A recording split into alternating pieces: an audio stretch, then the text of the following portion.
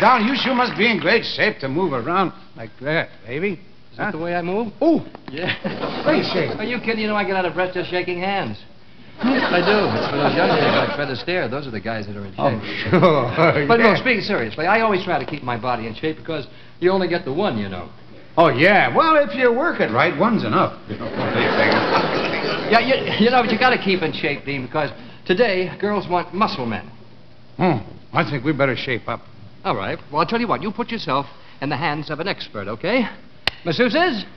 Is this going to hurt? Uh, just uh, watch it, please. Look, we're just going to tighten you up a little, that's all. You understand what I mean? Yeah, baby.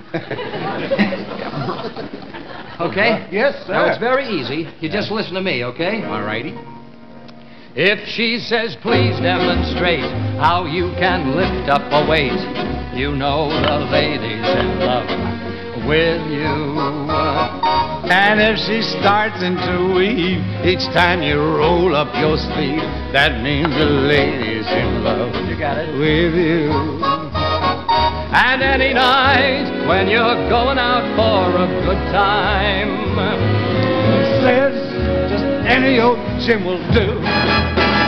Well, sir, here's just how it stands. You've got romance on your hand because the lady's in love with you.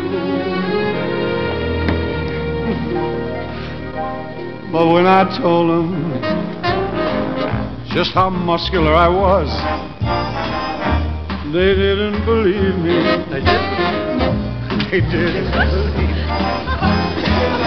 Those muscles rippling everywhere are in a class beyond compare. Got a good vibrato. You're the brawniest man that one could see. I like those tones.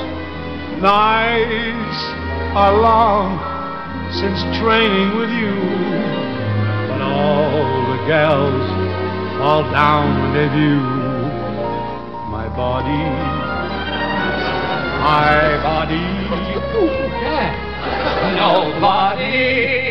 why it's so true. Get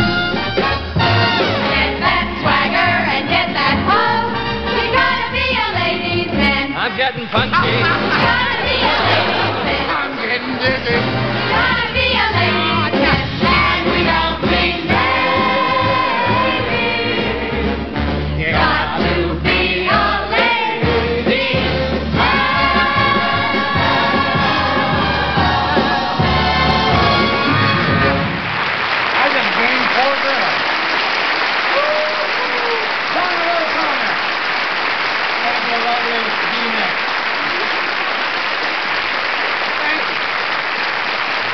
Turn